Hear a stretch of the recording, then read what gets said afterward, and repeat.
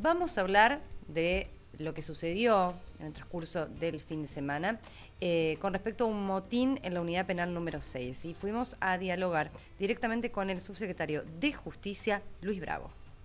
Hubo un incidente entre los internos, un incidente muy fuerte, en horas muy tempranas de la mañana, fue el día jueves, tipo 6.30 de la mañana más o menos, eh, la rivalidad que hay entre, entre distintos personajes allí alojados hace que este, sobre todo en estas fechas se pone un poco más alterado el espíritu de esta gente, pero ya son viejas rencillas de cuando estaban en libertad, o sea, para nosotros eso no es novedad, eso es una cuestión que se da en tanto y en cuanto este, tienen un, contacto, por ejemplo, en horas de recreo, en horas de visita familiar. Eh, iniciaron dos internos esta, esta cuestión,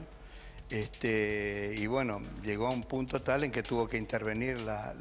autoridad penitenciaria y por supuesto, desbordado en número, este, no es fácil contenerlo. De cualquier manera, eh, se, los pudo convencer de que terminen con la gresca y fueron, fueron recluidos en sus pabellones este, y se hizo una requisa antes de eso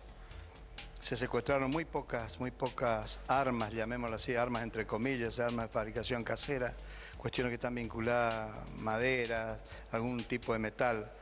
Eh, de ellos resultaron con heridas sensibles, dos internos que fueron trasladados al hospital escuela, pero eh, al poco tiempo fueron dados de alta.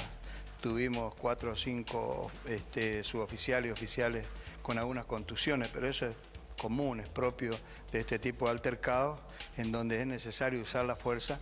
porque de otra manera no, no, no, no, no, se puede actuar. ¿Se trasladó algún interno? En principio iba, se iba a trasladar, pero pareciera ser que la autoridad penitenciaria, conforme a lo que, este, a lo, que me manifiesta el subjefe, se los eh, relocalizó dentro del propio penal, sí con la advertencia de que continuar esto serían trasladados a la unidad penal de